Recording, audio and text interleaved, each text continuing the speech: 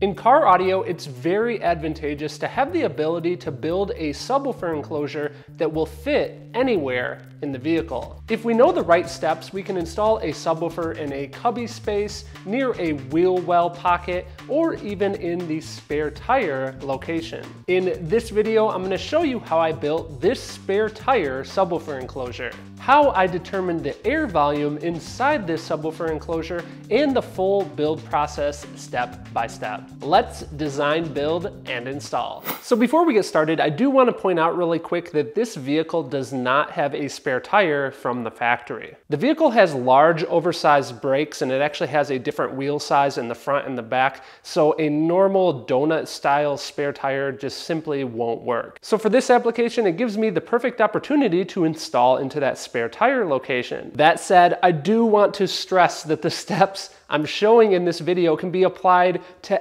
anywhere in the vehicle. You can use these steps in this video in order to break things down and calculate the volume and to actually stack and make a shaped enclosure. Let's get on into the build. So for this project, I'm gonna be using two of these bad boys right here, the Focal E25KX 10 inch subwoofers. These are rated at 600 watts RMS, a really, really nice high quality sound quality quality subwoofer. Now I printed off the spec sheet from their website and I did a little bit of designing and I found that their recommendation of 0.78 cubic feet per subwoofer is going to be really, really nice for the type of response that I'm looking for with this sealed enclosure. So now it's a matter of working through the math here in the trunk and kind of thinking through my process. I think what I'm going to do is I'm going to use two different circles in order to stack a shape, to stack a profile that will become the box. And because I'm using these two different circles, I can easily measure the inside diameter of those circles.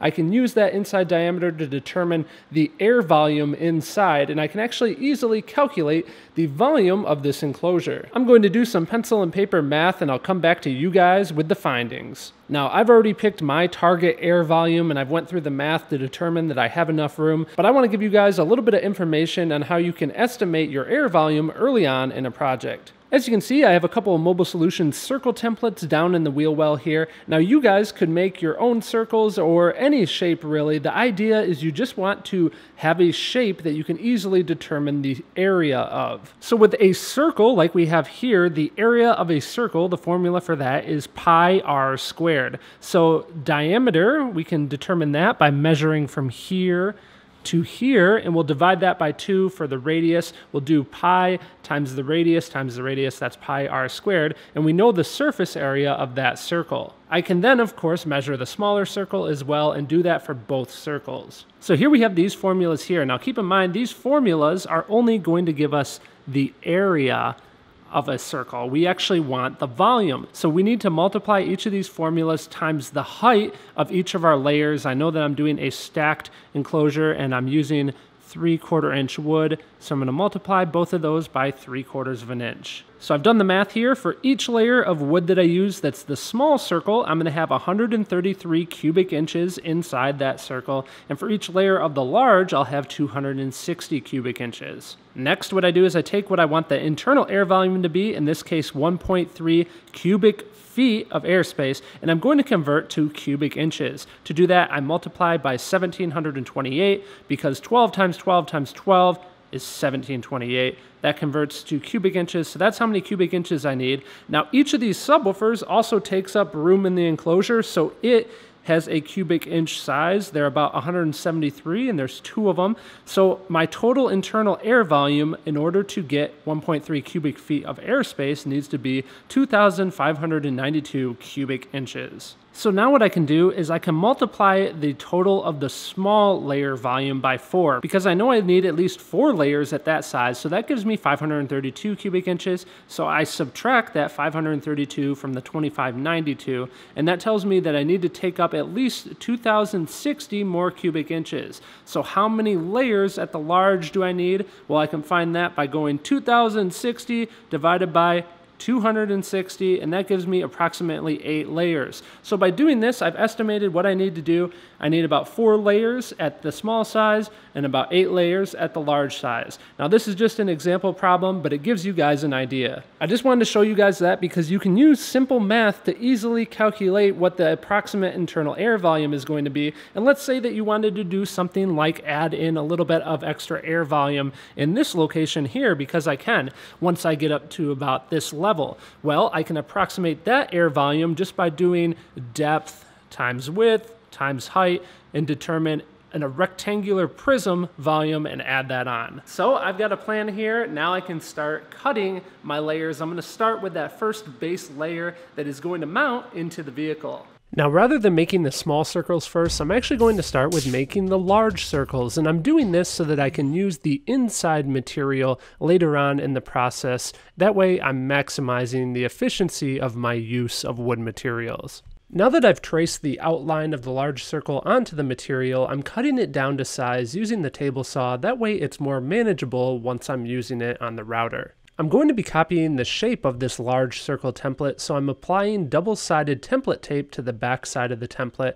I then remove the backing paper and stick the template onto the board. Now I copy the template shape using a quarter inch spiral flush trim bit. Whenever I show the use of a router or a router table in my videos, a lot of you guys ask what I like to use for those, so you can check out the video up in the corner of the screen. In all of my videos, I also provide a nice list down in the video description of links to the different tools and materials that I use, so you can check that out as well. So this circle here is my first layer, and now I need to attach it to a new layer of wood that I'll again be trimming on the router. In this case, these two pieces are going to be permanently attached to each other, so I use wood glue and brad nails. After drilling a pilot hole in order to start the router bit, I then cut out the inside of this shape and then the outside. So this shot here gives you an idea idea what I've started to do in the trunk with this large circle. Now I definitely need to add a couple more layers. To add more layers, I just continually repeat the same process that I just showed you. So I've got four layers built here of the overall circle size.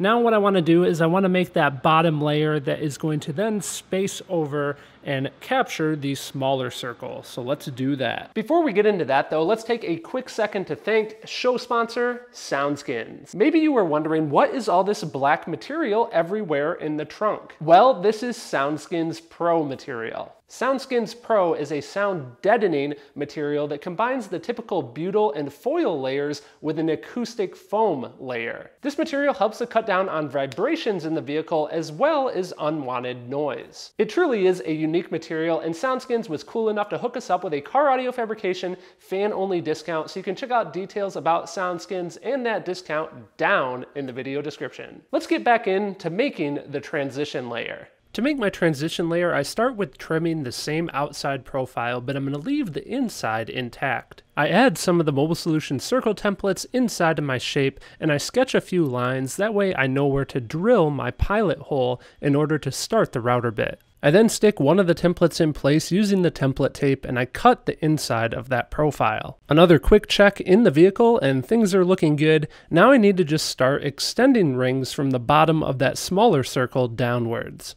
To do this, I'm going to start with copying that same smaller template shape once again. I apply more wood glue and then I use the brad nailer to secure that ring into place. Now off camera, I had slightly increased the size of the hole in that transition layer, and I did that to allow for clearance on the subwoofer magnets. So here I am just flush trimming the inside of that new ring to match the transition layer. So now with our subwoofer enclosure flipped upside down, it looks a little something like this. And as you can imagine, I now need to just add more layers of that smaller circle. I repeat that process and I also create another transition layer as you can see here. So this is really formed the entire subwoofer enclosure, now I just need to make a cap on the bottom. I made the cap using a circle template and now I'm using this 45 degree chamfer bit just to give it more of a finished look on the bottom side. I apply glue to this cap piece, I align it, and then I brad nail it in place a final time. I can now position the finished stack within the vehicle, but we're not done quite yet. We still need to make that top baffle that will hold the subwoofers.